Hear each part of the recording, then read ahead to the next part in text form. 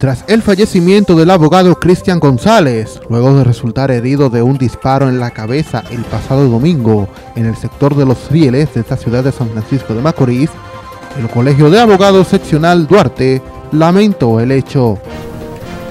Sí, en la noche de ayer, el licenciado Cristian González le dio un, un ataque al corazón y falleció, fruto de un disparo recibió en la cabeza la noche del domingo previo a la huelga.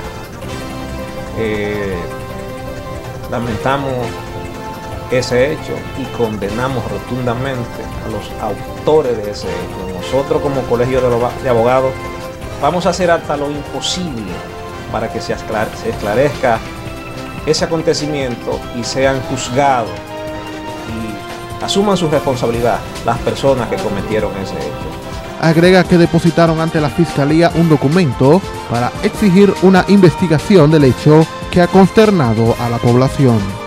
Exigimos una investigación responsable, porque hasta ahora no se ha hecho absolutamente nada por parte de la Fiscalía.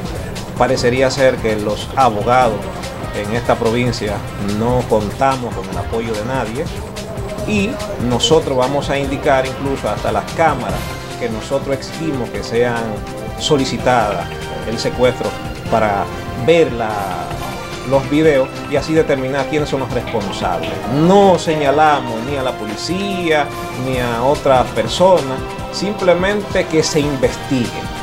Y nosotros vamos a ser guardianes celosos con relación a este caso. Para NTN, su noticiero regional, Jesús Daniel Villalona.